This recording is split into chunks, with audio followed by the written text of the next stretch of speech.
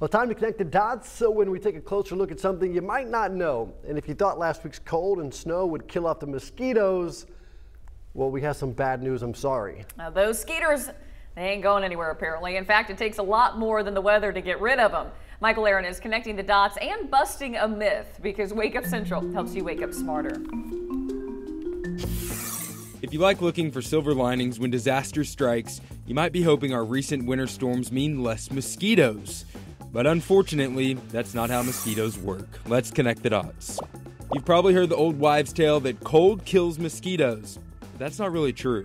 The flying bloodsuckers do become lethargic when temps reach 60 degrees or below and can't really function when it gets lower than 50 degrees. Some females will hibernate when the first frost hits and others die. They've already left behind a new generation of skeeters. Mosquito eggs, they're not killed off by the cold. Instead, they hibernate like their moms. In fact, research shows that mosquito eggs can survive in this hibernation for years, waiting for the perfect conditions to come into the world. And that's the real story of mosquitoes. They are survivors. They've been around for about 210 million years, which means they've survived at least one ice age. Some of the most frightening examples live in Alaska and the Arctic. So while they may be annoying, they are impressive. Connecting the dots, Michael Aaron, THV 11 News.